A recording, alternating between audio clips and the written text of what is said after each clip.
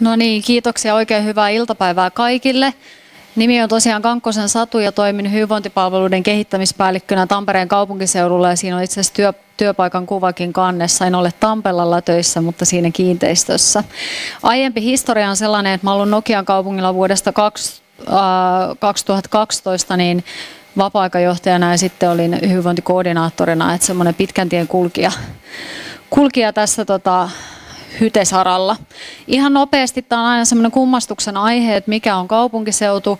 Meillä on kahdeksan kunnan muodostama kuntayhtymä, jonka, jossa me tehdään tiivistä yhteistyötä eri toimialojen kanssa. Ja meillä on seutuhallitus, joka on meidän ylin päättävä elin, ja sitten on kuntajohtajakokous ja erilaisia työryhmiä. Meillä on myöskin seutustrategia, jossa se hyvinvointi näkyy täällä aika keskeisenä asiana, jonka näiden kuntien ja kunnan valtuustot on hyväksynyt. Eli tämä meidän työskentely pohjautuu tälle strategialle.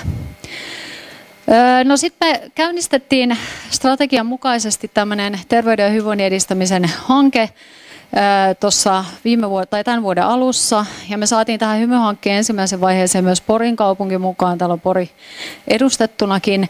Ja mä en lähde käymään näitä meidän hankkeen pääteemoja tässä ajanpuutteen vuoksi sen enempää läpi, mutta ne on niissä, voitte sitten lukea tarkemmin niitä, niitä asioita. Me teetettiin nykytilaselvitys, johon tämä mun esitykseni nyt perustuu viime kesän aikana.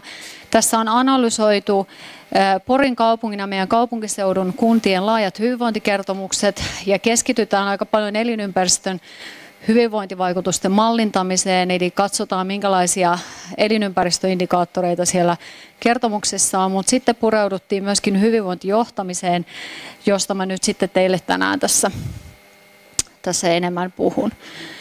Ja sen verran tästä teoreettisesta viitekehyksestä teille sinne, että tota, ajatus on tosiaan se täällä taustalla, että se hyvinvointikertomus rakentuu hyvinvointijohtamisen ja tiedolla johtamisen varaan.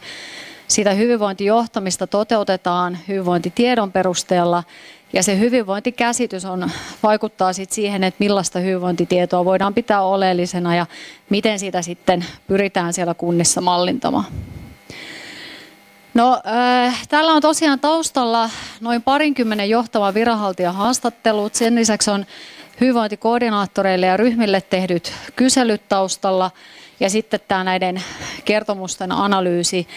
Ja, ja tota, jos mennään ensin tähän hyvinvointikäsitysasiaan, niin se mikä on varmaan tapahtunut nyt tässä viimeisten vuosien aikana, niin on se, että että se hyvinvointi käsitetään merkitykselliseksi asiaksi ja kaikki toimialojen edustajat pitää omaa toimialaansa hyvinvointia edistävänä.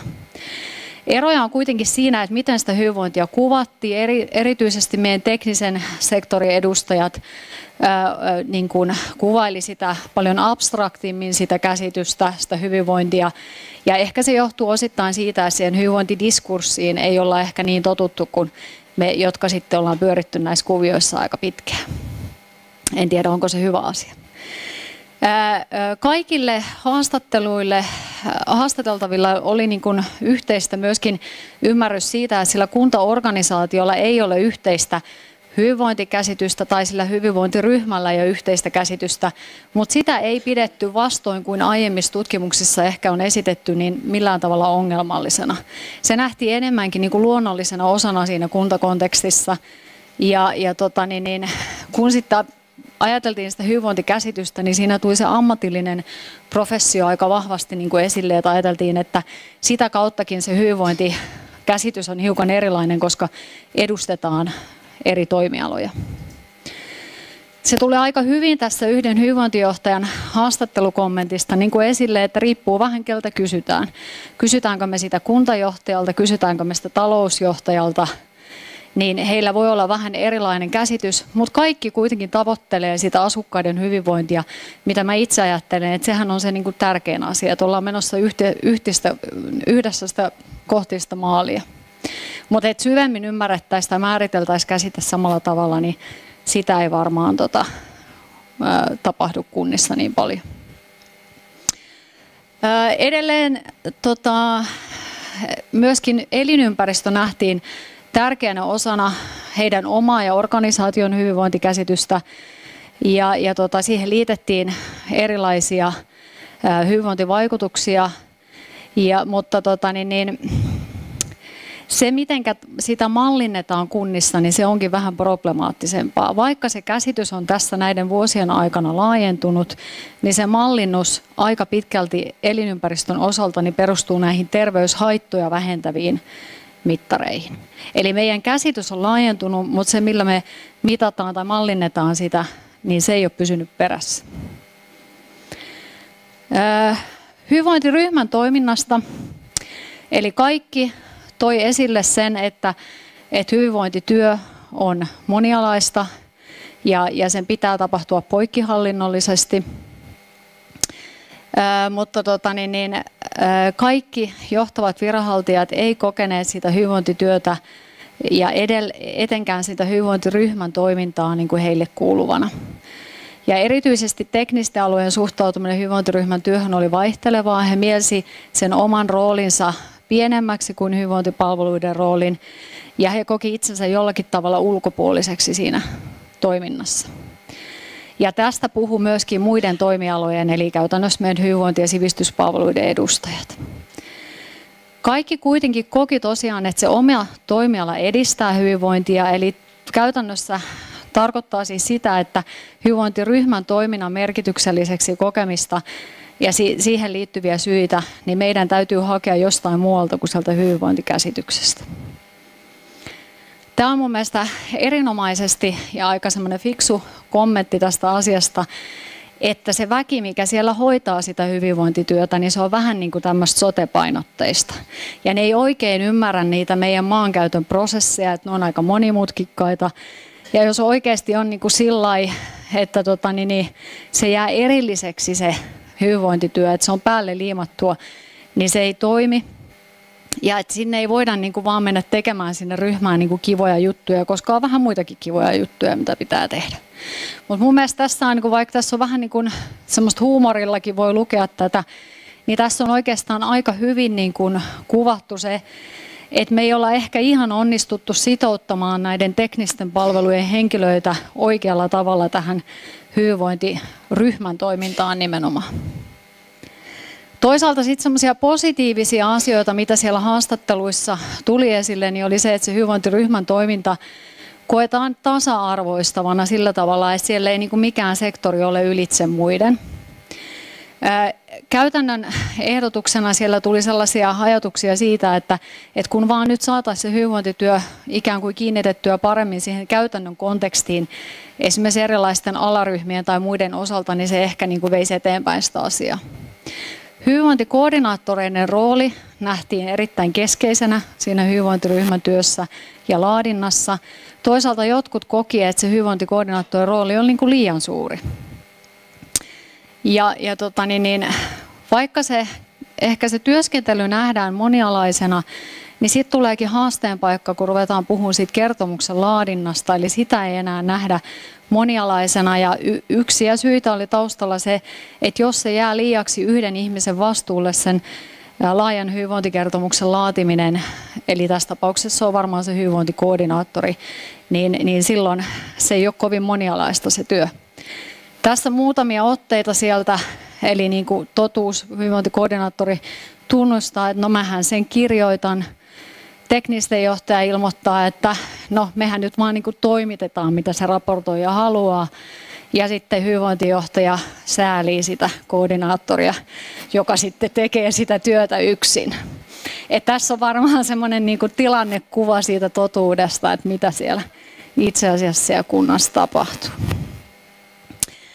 Tota, eli voisi sanoa näin, että se hyvinvointikertomus ei nyt näyttäisi ihan lunastavan sille asetettuja tavoitteita, koska, tota, äh, koska sillä kertomuksella ei näyttänyt näiden strategisesta johtamisesta vastuusta olevien henkilöiden osalla olevan niin merkittävää roolia.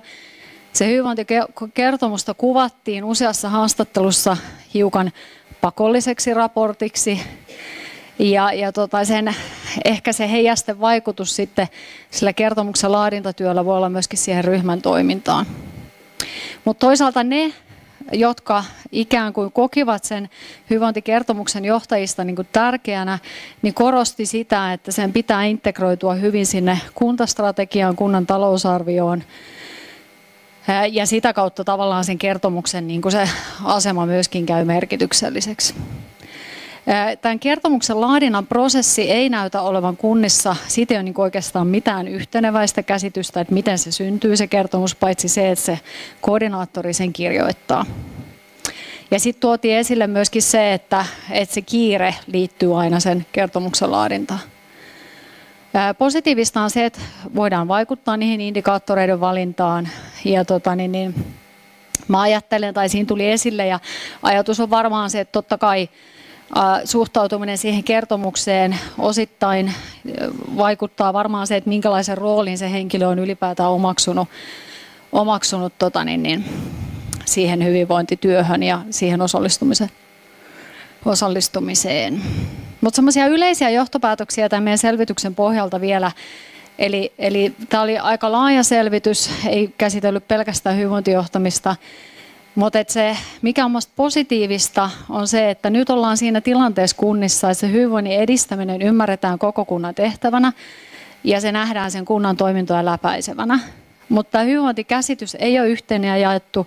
Toisin ehkä kuin aiemmin tutkimuksessa on esitetty, niin mä ajattelen myös niin, että ei se ole niin ongelma silloin, kun meillä on se yhteinen päämäärä kuitenkin. Se käytössä oleva hyvinvointitieto ei ainakaan tämän analyysin mukaan vastaa tähän hyvinvointikäsitykseen, eli se hyvinvointikäsitys on laajempi kuin se käytössä ollut hyvinvointitieto. Ja siitä hyvinvointiryhmän toimintaa ei oikein koeta omaksi. Eli, eli tavallaan niin kuin ne, sitten vielä sen hyvinvointikertomuksen strategisuudesta ne mielikuvat on vaihtelevia ja, ja ajattelen niin, että sen kertomuksen asema ei ainakaan kaikissa selvitystyöhön osallistuneissa kunnissa niin ole ihan tuon THLn määritellän mukainen. No miten sitten lähtisin tätä asiaa tästä viemään eteenpäin? Niin ensinnäkin ajattelen niin, että tarvitaan parempaa yhteistyötä siinä hyvinvointijohtamisessa. Eri, eri toimijoille pitäisi löytyä omien halujen ja kykyjen mukaiset tehtävät. Ja, ja tota, niin meidän pitäisi jotenkin pystyä parastamaan sitä hyvinvointityötä siellä. Mä tässä oikeastaan lounaspöydässä sanoin, että en tiedä uskallanko mä sanoa tätä ääneen, mutta sanonpa kuitenkin, että mulle tuli jopa semmoinen ajatus, että mikä, tarvitaanko sitä hyvinvointiryhmää siellä kunnassa? Vaikka se pitää nimetä, niin onko se niin kuin tässä siinä muodossaan, jossa sitä on ehkä tarvittu siellä kun tämä hyvinvointityö on lähtenyt käyntiin, niin, niin, tota, niin tarvitaanko sitä ainakaan erillisenä ryhmänä? Vai pitäisikö olla niin, että se rakentuu siihen kunnan rakenteiden niin kuin muun rakenteen sisään ja toimii sitä kautta? No se hyvinvointikertomus pitäisi aidosti saada koko kunnan hyvinvointipolitiikkaa ohjaavaksi asiakirjaksi. Ja mä ajattelen nyt tämän selvityksen perusteella, että se hyvinvointikertomuksen laadinnan prosessi olisi oikeasti hyvä kuvata – ja, ja tota, tulisi varmistaa, että se kertomus kytkeytyy paremmin siihen kunnan strategian vuosikellon ja muihin näihin suunnittelu- ja toimeenpanoasiakirjoihin. Tämän selvityksen perusteella tarvitaan paikallisiin erityispiirteisiin sovitettuja tavoitteita ja niiden seurantaa.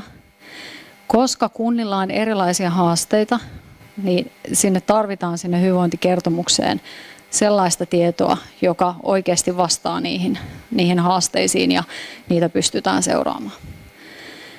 Sitten mä ajattelen, että tarvitaan myöskin kuntarajojen ylitapahtuvaa tarkastelua, koska kaikki ilmiöt ei ole mallinnettavissa kuntarajojen mukaan. Ja tällöin me esimerkiksi perustellaan tietysti tätä meidän seututyötä niin kuin juuri tällä, että, tota, että me päästään niin kuin seudullisesti tekemään yhteistyötä ja pystytään sitten mallintaan tiettyjä ilmiöitä, jotka ei tapahdu kuntarajojen sisällä. Sitten tarvitaan tietoperusteista kehittämistyötä. Se on, se on niin kuin myöskin erittäin tärkeää. Ää, tästä nopeasti niin kuin, ää, päätän tämän puheen, niin ehkä tässä tuli vastausta tähän kysymykseen, että miten hyvinvointiasiat saadaan niveltymään sinne kunnan päätöksentekoon, niin ajattelen, että hyvin on edetty tässä niin kuin vajaan kymmenen vuoden aikana, mutta on tässä nyt vielä jonkun verran tehtävää ainakin tämän selvityksen perusteella. Kiitoksia.